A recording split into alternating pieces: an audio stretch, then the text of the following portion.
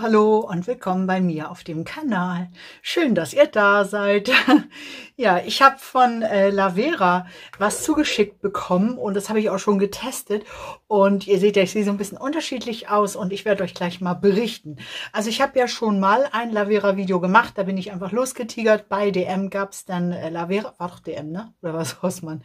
Nee, ich glaube bei DM gibt es nur Lavera, also bei mir jedenfalls und ähm, habe mir dann so Lavera-Sachen gekauft, einfach nur, weil ich das testen wollte. Und hauptsächlich ging es damals um dieses Produkt. Und dann habe ich halt noch was mitgenommen, habe so viel mitgenommen, dass ich daraus ein Video machen konnte. Und dann habe ich das Video äh, natürlich veröffentlicht, gemacht, gemacht, getan.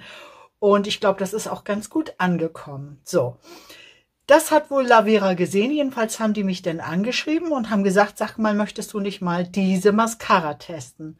Und da habe ich gesagt, ja, ja, kann ich machen. Und ähm, ich glaube, die wollten gar nicht so viel von mir. Die wollten mir nur, die wollten nur, dass ich die äh, äh, Mascara teste. Und da habe ich dann gesagt, ähm, ach, schick mir doch ein bisschen mehr, dann mache ich ein ganzes Video, weil ich habe noch nicht alles. Ein paar Sachen könnte ich noch gebrauchen, zum Beispiel die Foundation, die kenne ich noch nicht und so weiter. Und das interessiert bestimmt meine Follower auch, wie die Sachen so sind. Und da haben die ganz lieb geantwortet, ja klar, machen wir. Und dann haben die mir was zugeschickt. So, und das zeige ich euch jetzt erstmal.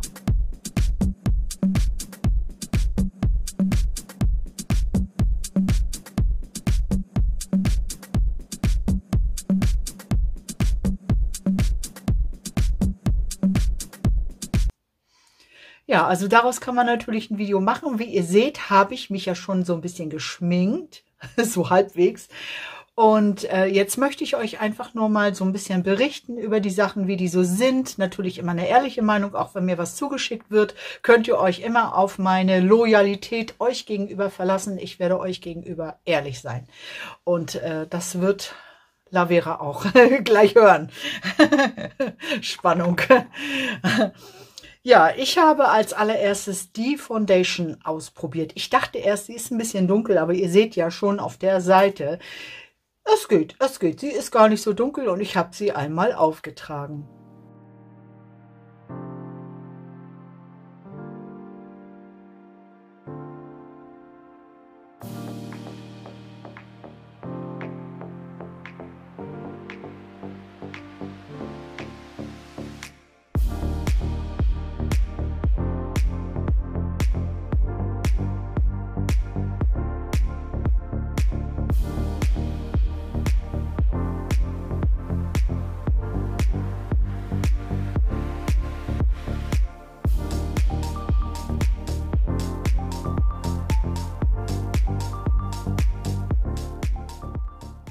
Dann habe ich mir gedacht, es könnte ja spannend sein, wenn ich das dazu hole und ihr für euch dann vielleicht mal äh, schauen könnt, welches Produkt gefällt mir besser. Nämlich jetzt die Creme Foundation, nämlich diese Foundation, die kannte ich ja auch gar nicht. Die hat mir zum Beispiel sehr, sehr gut gefallen.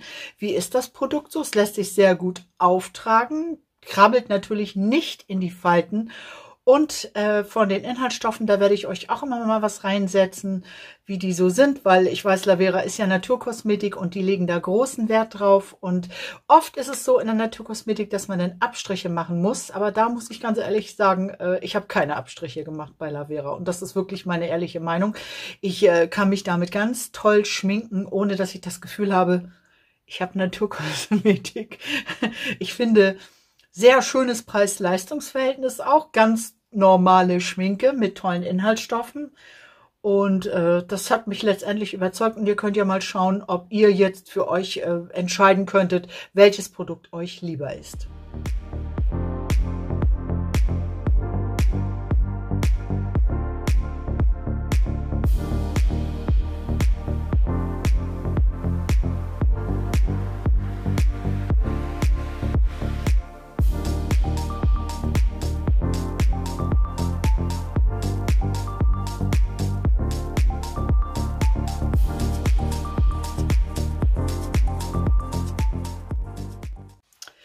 Also getestet sehr gut. Beide gefallen mir sehr gut. Auch die Foundation finde ich klasse. Die würde ich auch tatsächlich jeden Tag benutzen, weil die auch nicht so glänzt.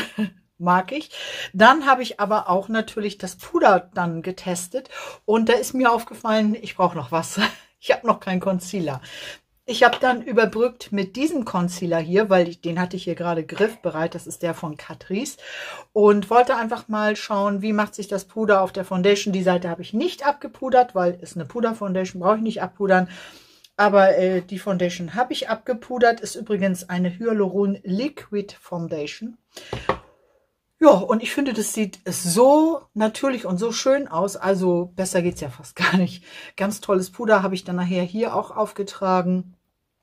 Und äh, ich kann nichts Negatives feststellen. Überhaupt nicht. Also es krabbelt nicht in die Falten. Es sieht nicht irgendwie zugepudert aus. Gar nicht. Inhaltsstoffe werde ich mir gleich nochmal anschauen. Würde mich mal sehr interessieren, ob hier Teig mit drin ist, werde ich euch dann auf jeden Fall berichten. Von der Art her, vom Puder her, ist das ein helles Puder. Mag ich normalerweise nicht so gerne. Allerdings finde ich, es hat ähm, einen schönen Porzellaneffekt. Also es hat ein richtig schönes Finish. Sieht sehr schön aus, überhaupt nicht irgendwie komisch oder so. Ich, wie gesagt, ich mag das ganz oft nicht. Ich mag lieber so Hautfarben, ne? Aber das finde ich Tatsache gut. Ich habe mehrere Puder da, die ich mal getestet habe und immer dann verglichen habe mit dem Zauberpuder. Jetzt fragt ihr bestimmt, die Frage kommt dann oft, weil ich ja immer Zauberpuder nehme, ob das jetzt besser ist wie das Zauberpuder. Äh, ehrlich gesagt ist das schwierig äh, zu vergleichen, weil das hier ein anderes Produkt ist. Ich finde auch das Zauberpuder total toll und Lavera finde ich auch toll. Ich würde sagen, die sind beide gleich gut. Also da kann ich jetzt nicht so einen riesengroßen Unterschied erkennen. Oder mag jetzt eins total lieber. Nö, also Lavera finde ich auch echt sehr schön. So erster Eindruck, ne? First Impression natürlich. Nur mal schauen, wie sich das so über den Tag macht.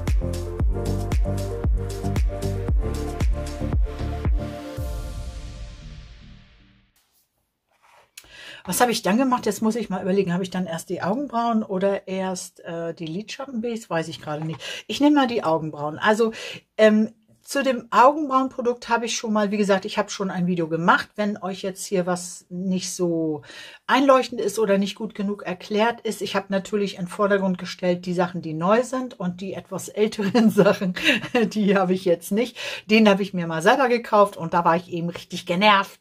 Richtig genervt. Guck mal, wie klein der ist. Den habe ich erst zweimal benutzt. Der ist nicht klein benutzt, sondern klein angespitzt. Und zwar habe ich den mit so einem ganz normalen Anspitzer hier von Make-up Coach angespitzt, angespitzt, angespitzt. Und jedes Mal habe ich das hier gehabt, dass eine Seite runter war und die andere Seite hoch. Ich habe es nicht hingekriegt. Und es liegt nicht am Anspitzer. Hier kommt der Zeuge. Es liegt nicht am Anspitzer. Den habe ich auch gerade angespitzt. Es hat mich ein bisschen geärgert. Ich habe die ganze Zeit überlegt, warum das so ist. Es ist ja eigentlich Quatsch. Also das, man kann das ja nicht so machen, dass das so ist, aber es war halt so. Das hat mich geärgert. Dann ist er ein kleines bisschen zu dunkel und er ist wahnsinnig cremig, was wahrscheinlich die meisten toll finden. Aber ich mag nicht ganz so gerne so cremige Stifte als Augenbrauenstift, weil ähm, es ist immer so doll dann gleich. Ich mag immer gerne, wenn die so ein bisschen zurückhaltender sind. Aber wie gesagt, ist halt auch so ein bisschen, die Farbe ist ein bisschen sehr dunkel. Aber ansonsten hält auch den ganzen Tag, weiß ich ja vom letzten Mal. Dann habe ich eine Lidschatten Base. Ui, das ist ja meins. Das habe ich nicht bestellt, darüber haben wir nicht gesprochen. Das haben sie mit reingelegt. Vielen Dank. Äh, ganz süß. Ich teste sowas ja sehr, sehr gerne. Und ich bin selber gespannt. Auf der Seite habe ich eine Lidschattenbase, auf der Seite nicht. Das Auge sieht jetzt aber komisch aus, weil ich nur da Mascara drauf habe. Also ich mache gleich nochmal hier Mascara, dann sehe ich auch gleich aus. Und ich bin sehr gespannt, ob man einen Unterschied sieht. Hier ist die Lidschattenbase drauf und hier ist sie nicht. Könnt ihr mal schauen. Eben gerade aufgetragen und das gucke ich mir natürlich auch noch so ein bisschen so abends nochmal an. Gibt es einen Unterschied oder nicht?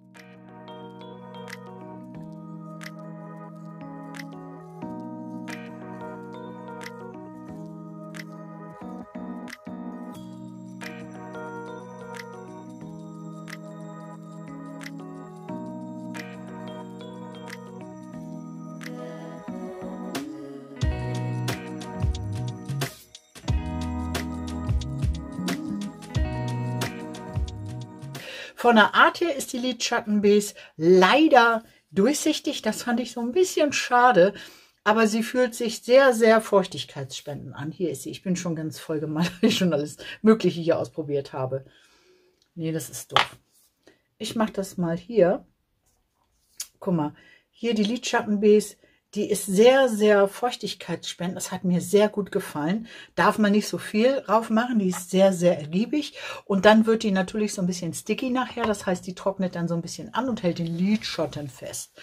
Sehr cremig, sehr gut. Ich hätte sie gerne so ein bisschen farbig gehabt. Das wäre jetzt so mein persönlicher Wunsch, weil ich ja immer gerne die blauen Äderchen mit abdecke.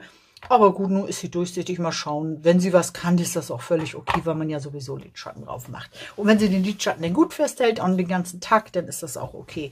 Ich brauche nicht immer eine Lidschattenbase. Kommt immer ganz drauf an, was ich gerade für Produkte drauf habe. Mal schauen, ob das einen Unterschied macht. Ich bin gespannt. So von der Farbe her ist nicht viel. Aber ist ja klar, sie ist ja auch durchsichtig. Ja.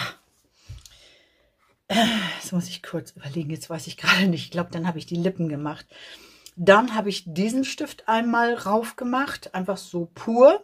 Und dann habe ich meinen Stift dazu genommen. Den habe ich mir ja schon mal gekauft und auch angespitzt. Das ging gut. Ähm, ja, habe ich gerade drauf und finde ich wunder wunderschön. Habe noch eine andere Farbe. Einmal im Vergleich. Diese beiden Farben habe ich und beide sind wunderschön. Sind pflegende Produkte und ähm, also die bleiben jetzt nicht den ganzen Tag drauf, aber sie sind sehr, sehr pflegend, kann man ja dann auch mitnehmen in die Handtasche. Und ich mag, das ist so ein, so ein, so ein schön natürlichen rosa, pink, peach mag ich total gerne. Also da würde ich alle benutzen. Würde ich alle nehmen. ja,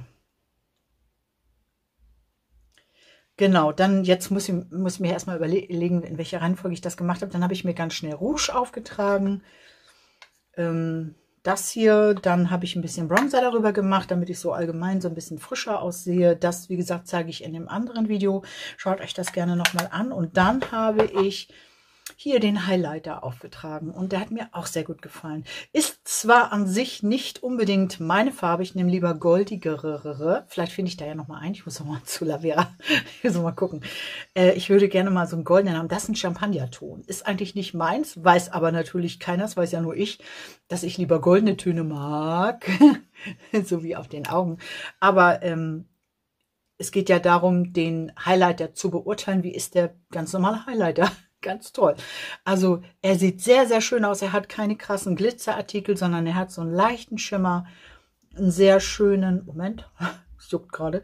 Er hat einen schönen, natürlichen Schimmer und ich finde ihn unheimlich hübsch auf der Wange. Also sieht richtig toll aus. Ist nicht jetzt so, oh, guck mal, Highlighter, sondern so, oh, die sieht aber gut aus. die sieht aber gut aus. Macht irgendwie jünger, oder? so das Gefühl. Ich finde, die Nase sieht jünger aus, auf jeden Fall. Ja, gefällt mir sehr gut. Also, sehr schöner Highlighter. Wie gesagt, ich betone das immer, weil das ist Naturkosmetik.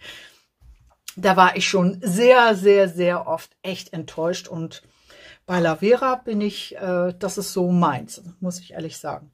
Dann habe ich zweimal Lidschatten und da kommt jetzt halt der Test. Einmal mit Lidschattenbase, einmal ohne und äh, das können wir dann abends nochmal beurteilen.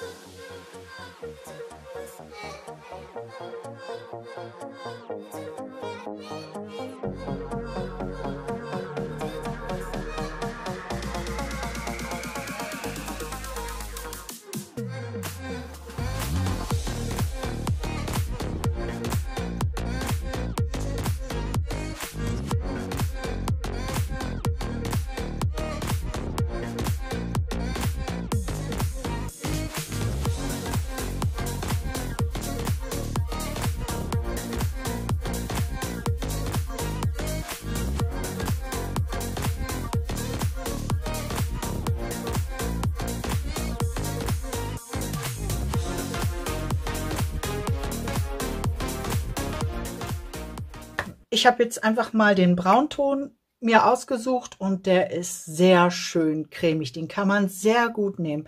Was ich hierbei getestet habe, ist, ich habe mit Schlüpfi-Puschel gearbeitet und äh, das könnt ihr ganz gut erkennen. Ich habe erst so normal angefangen, dann habe ich angefangen, hier außen so ein bisschen zu schichten. Das heißt, dass man so einen schönen Effekt hat von ganz dunkel ins heller gehende, dass es so ineinander übergeht. Und wenn das ein guter Lidschatten ist, kann man das. Kann man nicht mit jedem Lidschatten. Aber äh, das konnte ich sehr gut machen, das, was ich vorhatte. Das hat mich sehr gefreut. Eine sehr gute Qualität. Ich hoffe, er hält auch ein bisschen. Kann ich ja noch nicht so ganz beurteilen. Ist ja ganz neu bei mir. Und ähm, ein, auch ein sehr, sehr schönes Braun. Ist halt nur braun, ist nichts Besonderes, aber dafür ist es ein schönes Braun. Sie gefällt mir sehr gut, passt total zu mir und man kann sich damit ganz, ganz toll schminken, lässt sich gut verblenden und ich habe dann zum Schluss noch mal ein bisschen Bronzer genommen. Einfach nur, damit man das so ein bisschen, äh, dass man so einen Abschluss hat. Ich mag nicht gerne nur braun, sondern ich nehme dann immer irgendwie einen Rougeton oder einen Highlighter oder so, dass man so einen Abschluss hat. Na, ja, habt ihr schon gesehen, dann habe ich ja den goldenen noch zum Schluss aufgetragen. Den habe ich nur in die Mitte gemacht. Und den äh, goldeneren, den habe ich mir so ein klein bisschen cremiger vorgestellt. Da war ich erst so ein bisschen überrascht. Den habe ich mir dann auch noch mal auf der Hand geswatcht. Also der ist so ein bisschen glitzeriger. Da habe ich überlegt, ob das schwierig ist, in der Naturkosmetik einen Glitzerton zu machen, weil die Inhaltsstoffe, die müssen alle gut sein. Und ähm, vielleicht ist das ein schwieriges Produkt, ich weiß es nicht genau. Soll jetzt auch keine Unterstellung oder doof klingen oder so. Es ist einfach nur ehrlich, ehrlich jetzt so der erste ehrliche Eindruck, dass ich mir den so ein bisschen cremiger gerne gewünscht hätte. Letztendlich äh, sieht es aber trotzdem gut aus. Es darf nur nicht in die Falten rutschen und tut es auch nicht. Vielleicht habe ich ihn mir auch nur ein bisschen deckender vorgestellt. Ich weiß auch nicht. Irgendwie so. Aber er macht ja, was er soll. Und wenn der abends noch genauso drauf ist, dann habe ich nichts gesagt. Dann ist er klasse. Ich habe nur Angst, dass er nachher so ein bisschen runterrieselt. Das ist alles. Ansonsten fand ich den gut. Dann habe ich einen grünen Stift. Den habe ich mir dann hier unten aufgetragen und ganz kleines bisschen außen. Und den zeige ich mal. Schön cremig, lässt sich ganz toll auftragen, kann ich ja noch mal zeigen. Da habe ich schon gemacht, ist schon wieder abgewaschen. Guck mal hier, lässt sich ganz toll auftragen. Ist ein wunderschönes dunkelgrün. Das ist so ein so ein Forest-Grün, irgendwie ne, so ein Waldgrün. Richtig tolle Farbe. Ist eine besondere Farbe, das ist nicht, oh, ganz langsam, ist nicht nur einfach grün, sondern das ist ein richtig schönes Grün. Das ist ein richtig schönes Grün. Das habe ich auch schon mal bei Kosslein gehabt, dass es so ein richtig schönes, besonderes Grün ist. Da gibt es Unterschiede in Grüntönen. Sehr interessantes Thema, Grüntöne aus der Drogerie. Da mache ich vielleicht mal ein Video drüber, würde mich jetzt selber mal interessieren. Ja, also ein sehr schönes Grün. Und wie gesagt, ganz toll. Steht soft drauf, so soft ist er auch, lässt sich ganz toll auftragen. Bin gespannt, ob er lange drauf bleibt. Ja, und dann kommt natürlich zum Schluss nochmal der Mascara. Und das könnt ihr euch ja gerne mal anschauen.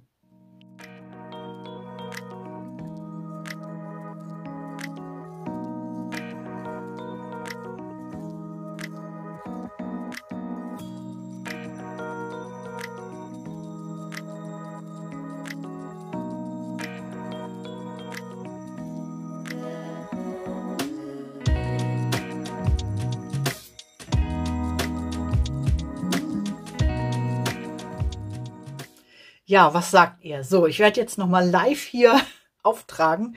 Eben ist ja nur so ein bisschen kurz gezeigt. Also, ich werde das jetzt nicht schneiden. Schaut euch das selber mal an. Das ist eine riesengroße Bürste. Vor der hatte ich erst Angst, hat man ja gesehen. Und jetzt werde ich mal hier live vor der Kamera, so habe ich früher habe ich das immer gemacht, jetzt macht man das gar nicht mehr.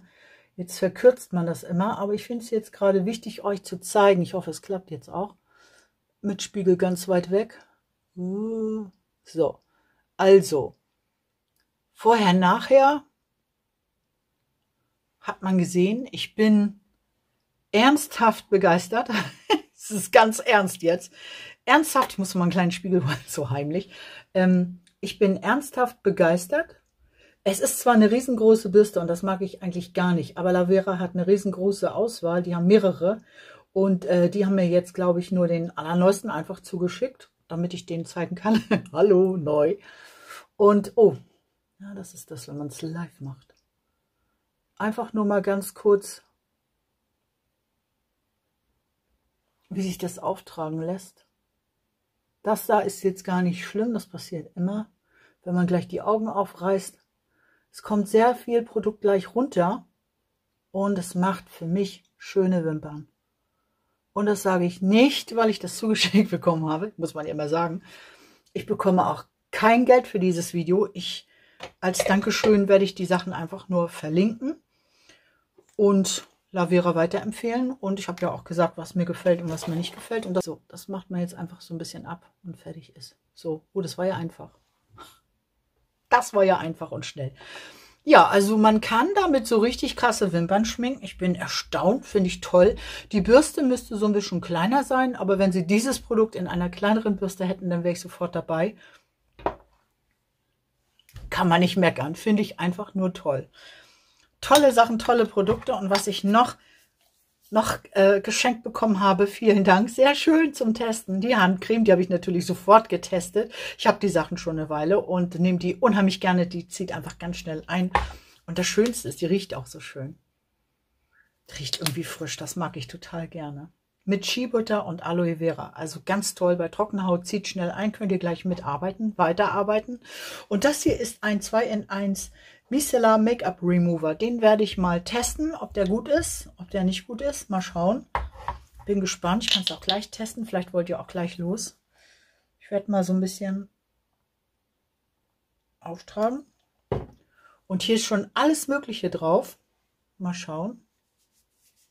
Wird wahrscheinlich ganz gut sauber machen, denke ich mal. Ne? So, zack, zack, zack. Auch den kann man gut benutzen. Guck mal, was alles auf meiner Hand drauf war. Ja, das ist immer so die Hand, die muss immer hier alles Mögliche aushalten. ja. Hm.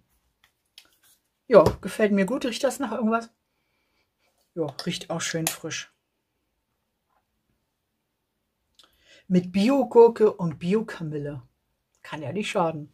Würde mich jetzt auch mal interessieren, wie der Mascara abgeht. Vielleicht teste ich das auch noch mal heute Abend. Ich glaube, das könnte euch auch interessieren. Wenn ich dran denke, mache ich das, dass ich einmal damit meine Augen noch abschminke und werde euch auf jeden Fall noch mal mitnehmen, so im Laufe des Tages, wie das alles so im Gesicht bleibt. Und ja, so, das hat Spaß gemacht. Das war Naturkosmetik, wirklich tolle Naturkosmetik.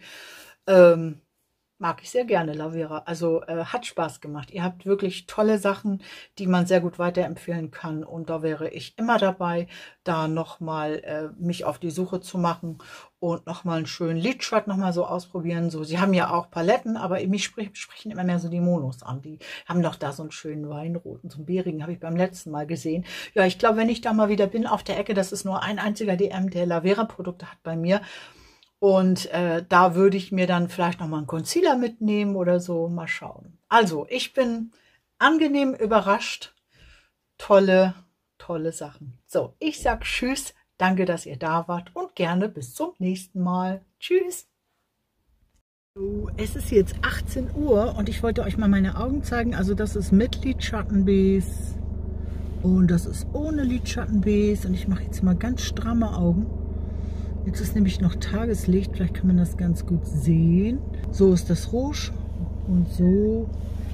Und so sieht das jetzt aus. Nach ganz vielen Stunden. Ähm, jetzt mal kurz überlegen, jetzt ist 18 Uhr. Ich glaube, um 10 habe ich mich geschminkt ungefähr. Also nach 8 Stunden sehe ich immer noch gut aus und das hat sehr lange gehalten. Tschüss.